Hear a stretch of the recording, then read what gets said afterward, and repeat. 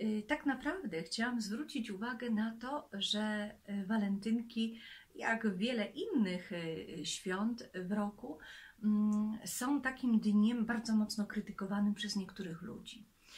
Oczywiście główny argument to ten, że powinniśmy kochać w każdym dniu roku, a nie tylko 14 lutego. Oczywiście, tak, zgadzam się i podpisuję się pod tym obiema rękami. Ale chcę też powiedzieć, że ja, y, kobieta bardzo mocno kochająca, kocham rzeczywiście 365 dni w roku, a w roku przestępnym nawet o jeden dzień dłużej. I przyznam, jestem kochana też 365 lub 366 dni w roku. Ale pomimo tego lubię takie święto. Nieważne skąd przywędrowało, nieważne jaki ma rodowód. Ważne, że jest to dzień, w którym głośno przypomina się o tym, że miłość jest ważna, że miłość jest piękna, że miłość jest potrzebna. Y, I podobnie jak w przypadku Dni, Dnia Kobiet. Y, niektórzy mówią, że przecież kobietę trzeba szanować cały czas, a nie tylko 8 marca. Zgadzam się. Ale 8 marca jest takim dniem, który może nam przypominać o tym, że kobiecość to taka fascynująca jakość. Podobnie z Dniem Matki.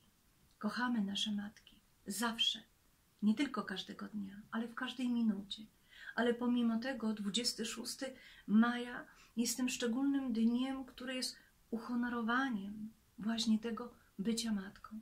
I myślę, że ten Dzień Zakochanych, który ja nazwałabym raczej Dniem Miłości, jest też takim uhonorowaniem pewnej jakości. Dlatego nie warto się od niego odwracać.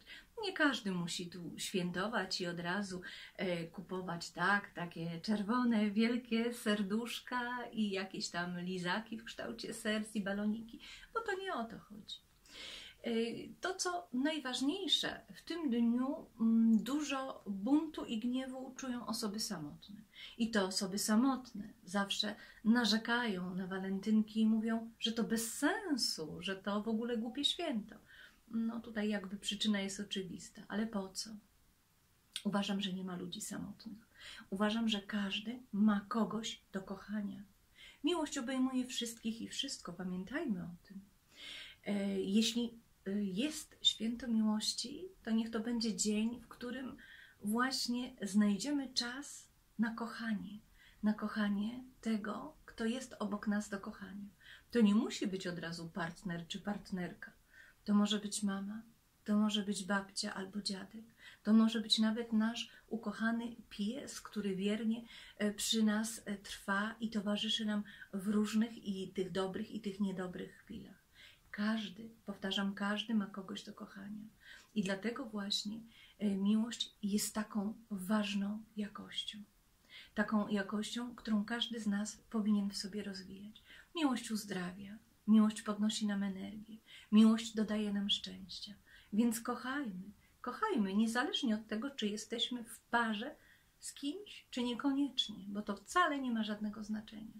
I niech ten dzień 14 lutego będzie właśnie takim dniem, dniem, w którym będziemy okazywać miłość tym wszystkim, którym chcemy tę miłość okazać.